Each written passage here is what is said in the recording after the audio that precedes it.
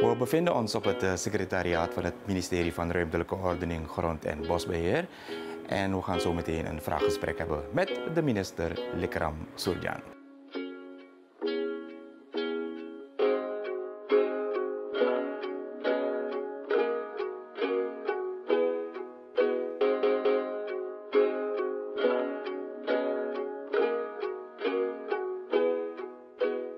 Komt u mee.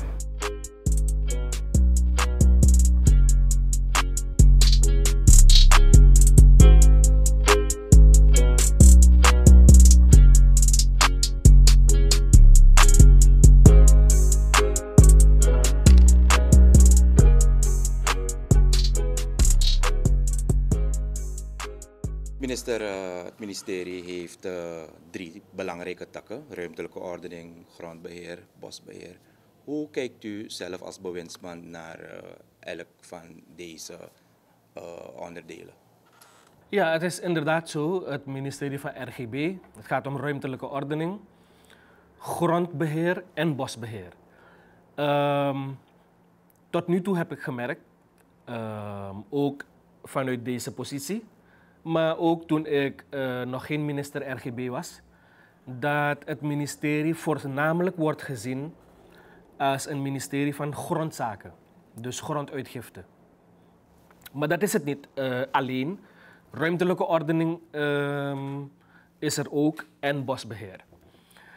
Nu is het zo dat gronduitgifte, ehm, als je een, een gerichte uh, aanpak wil hebben, een gericht gronduitgiftebeleid, dan moet je bestemmingsplannen hebben, structuurplannen, bestemmingsplannen. En dat heeft te maken met jouw beleid met betrekking tot ruimtelijke ordening. Het is um, in de afgelopen periode misschien een beetje verwaarloosd, um, die tak. Maar het ministerie is doende om een conceptwet ready te hebben binnen enkele maanden. En dan zouden we het concept kunnen indienen bij DNA. Uh, en daar kan ik misschien direct aan toevoegen dat wij de assistentie al hebben gevraagd van um, FAO in een persoonlijk gesprek. Omdat de FAO in andere landen, waaronder Guyana, ook bezig is uh, assistentie te verlenen. Dus er is wat expertise daar. We gaan natuurlijk ook andere instanties, nationaal, internationaal benaderen, zodat wij sneller de zaak uh, kunnen afhandelen, afronden, het concept. Um, en ervan verzekerd zijn dat het uh, niet te veel um, hiaten heeft, haken en ogen zoals ze dat noemen. Maar die ruimtelijke ordening moet in place zijn voor een gericht gronduitgiftebeleid. En bosbeheer is namelijk uh, niet alleen houtkap, want daarmee wordt het uh, veelal geassocieerd.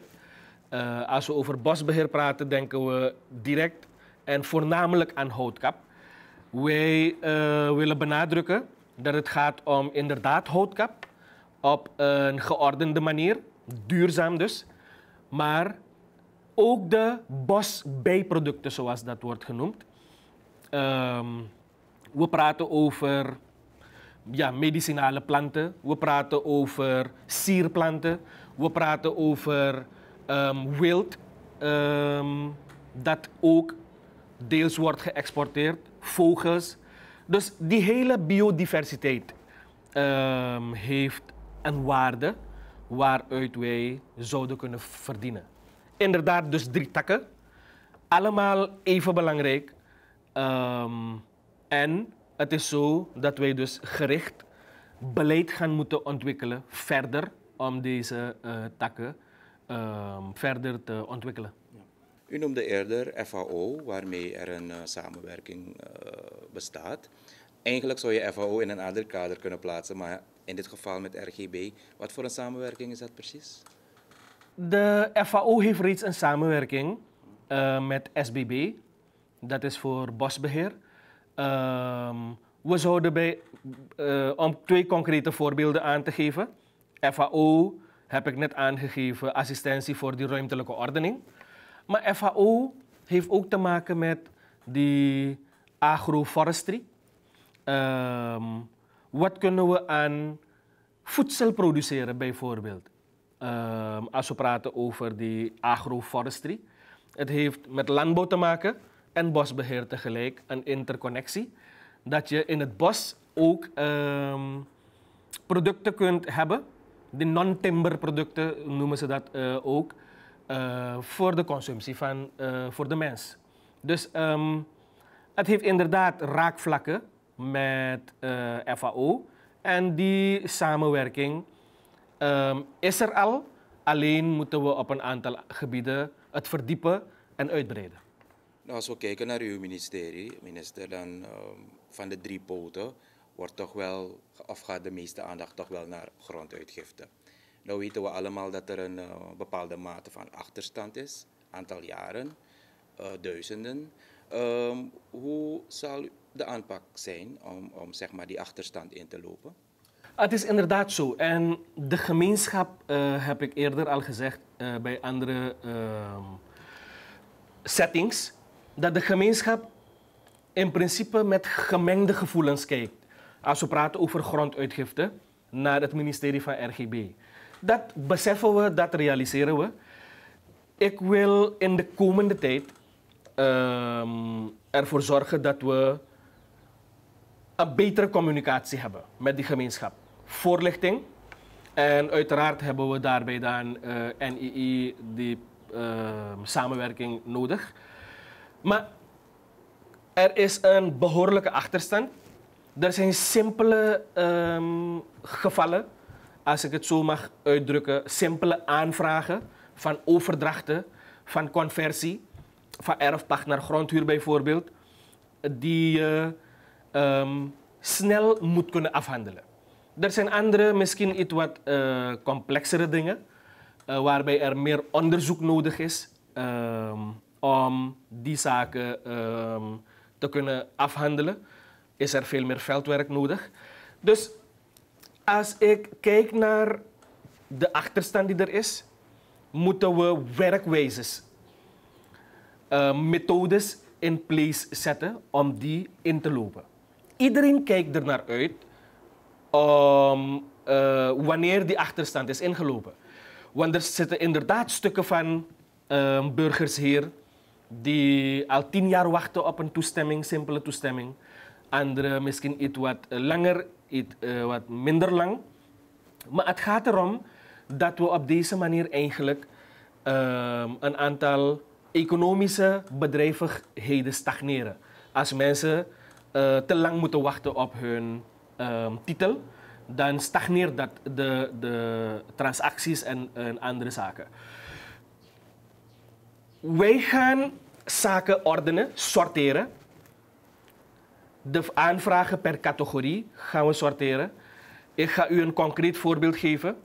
Alle vervallen erfpachtrechten. En ook erfpachtrechten die binnenkort zullen vervallen. Die gaan wij, en al die aanvragen die binnen zijn gekomen, die gaan we moeten opstapelen op één stapel. Sorteren en afhandelen binnen een bepaalde periode. Ik wil die gemeenschap vanuit deze plek die garantie geven dat wij in de komende tijd gericht gaan werken aan een aantal dingen. Ik heb net aangegeven, de meest simpele dingen waarop uh, burgers ook te lang moeten wachten, die gaan we snel afhandelen. Um, overdrachten die uh, zeg maar helemaal clean zijn, om het zo uh, aan, te, aan te geven, die hoeven niet hier maanden en jaren te wachten. Die gaan we um, afhandelen. Ik heb hierbij, en vanmorgen heb ik een, een meeting gehad met uh, de DC's, alle DC's, een beroep gedaan op die DC's dat ik hun netwerk ook wil gebruiken, behalve het advies dat van de DC uh, moet komen bij een grondaanvraag of andere uh, soorten aanvragen, zullen wij het netwerk gebruiken om achterstanden in te lopen. En hoe gaan we dat doen? Er zijn reeds aanvragen lopen. Burgers wachten op een afhandeling, een antwoord.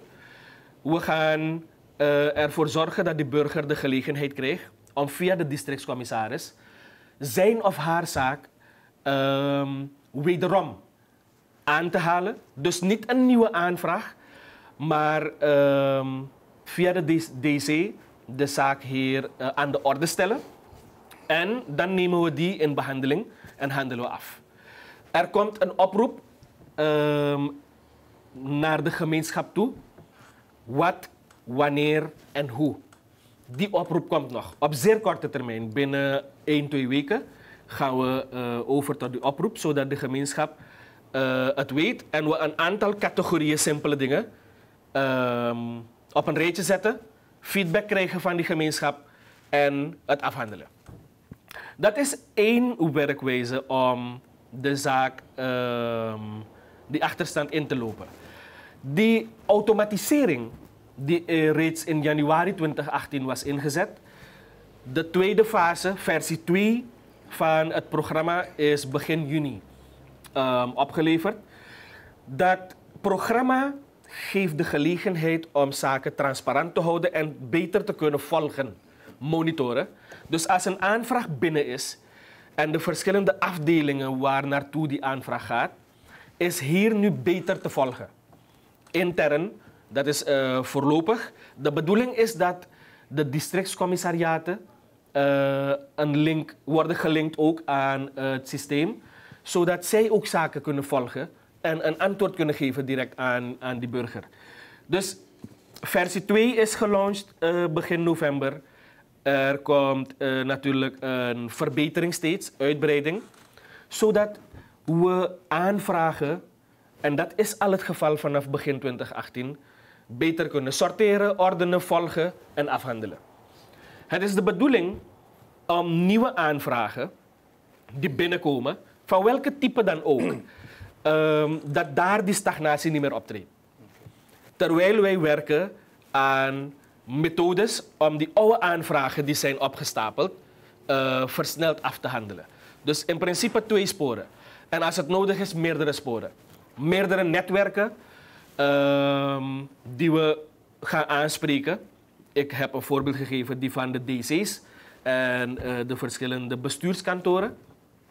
Die gaan we vragen om de zaak te ondersteunen, zodat we die achterstand inderdaad kunnen inlopen. Ik realiseer me dat het makkelijker is gezegd dan gedaan. Um, en we niet in 2019 al die achterstanden die we hebben van de afgelopen 20 jaar en langer hebben ingelopen. Dat realiseer ik me. Maar ik denk dat die gemeenschap, als de gemeenschap ziet dat er methodes zijn en er vordering wordt geboekt, dat die gemeenschap uh, begrip zal tonen en zal begrijpen en weten van, goed, die achterstand is in 2019 niet helemaal ingelopen. Maar gaandeweg, binnen een paar jaar, hebben we de zaak. Uh, moet het zover zijn dat we die achterstand hebben in, ingelopen.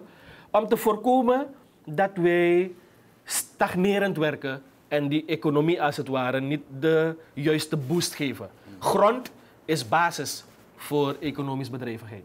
U noemde een aantal stappen om zeg maar, die gronduitgifte uh, in te lopen, sneller in te lopen.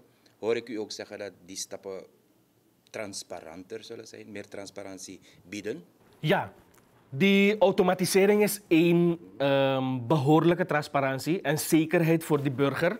Dat niemand kan komen aan hun LAD-nummer um, en de zaak wordt gevolgd. Um, en de, al de afdelingen die toegang hebben tot het systeem kunnen volgen van waar is mijn aanvraag nu beland. Maar als het wordt gelinkt met de districtscommissariaten, dan hebben de DC's ook, als het ware, uh, of die commissariaten hebben dan toegang om te kijken van waar is een aanvraag op dit moment en waar treedt er stagnatie op. Dan kunnen we uit het systeem halen waar die stagnatie optreedt. Het is nu niet zo dat we helemaal niet weten wat er aan de hand is. Alleen met die automatisering gaan zaken makkelijker. Um, ook om te ordenen, te sorteren, al die zaken zullen um, versneld kunnen worden aangepakt. Dus die automatisering is inderdaad één zaak. Bij die andere methodes om die achterstand uh, in te lopen, gaan wij zoveel als mogelijk. Als ik zeg, ik ga de DC's ook betrekken en hun netwerken, dan is dat ook een stukje transparantie. Want dan zijn er andere stakeholders ook on board. En het is niet alleen een aangelegenheid van de minister of uh, minister met directie. Nee, het is een aangelegenheid van ons allen. En als het om een bepaald district gaat, dan is het de burgervader of burgermoeder die ook inzage heeft van wat gebeurt er. Mijn burgers klagen, maar er komt geen vordering of er komt vordering. Er is inzage, transparantie dus ook. En ten aanzien van bosbeheerminister, ook een, een, een poot die zeg maar uitdagingen heeft of biedt. Uh, wat zal, uh, hoe noem je dat, uh, de focus zijn van uw beleid ten aanzien van dat gedeelte van bosbeheer? Kijk, ik wil even een stap terug. We, we zeggen altijd, en vanaf kleins af leren we, bos is belangrijk. Het heeft een belangrijke functie als we praten over zuurstof, waterhuishouding, allerlei kringlopen. Uh, die, dat bos heeft een belangrijke functie te vervullen. In het voortbestaan van uh, de mensheid, maar ook de economie um, en sociaal-maatschappelijk gezien ook. Als we dat weten, dan moeten we beseffen en realiseren dat we dat bos nodig hebben eigenlijk uh, voor eeuwig. En we niet op een bepaalde manier kunnen omgaan met het bos waarbij het steeds achteruit gaat. Dus van deze plaats uit een oproep aan de Surinaamse gemeenschap. Uh, die oproep is waarschijnlijk al vele keren gedaan uh, door andere autoriteiten. Maar ik roep ook op om voorzichtig en duurzaam om te gaan met ons bos. Het is waardevol. Voor ons, maar ook voor de wereld. Um, dat bos heeft hout, dat heeft verschillende producten. Wij moeten terwijl we duurzaam omgaan met het bos, aan de ene kant, wel ervoor zorgen dat het bos ons kan voorzien in ons levensonderhoud ook, deels.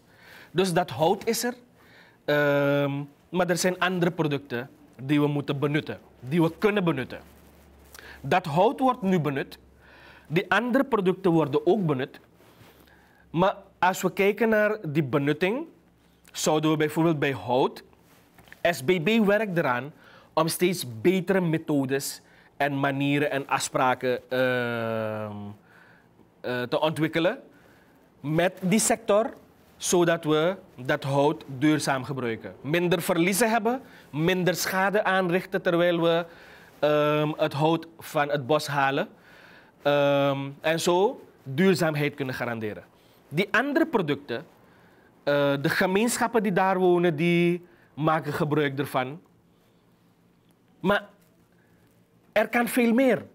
Dus wij moeten gericht in samenwerking met organisaties die in Suriname actief zijn. Denk maar aan Conservation International.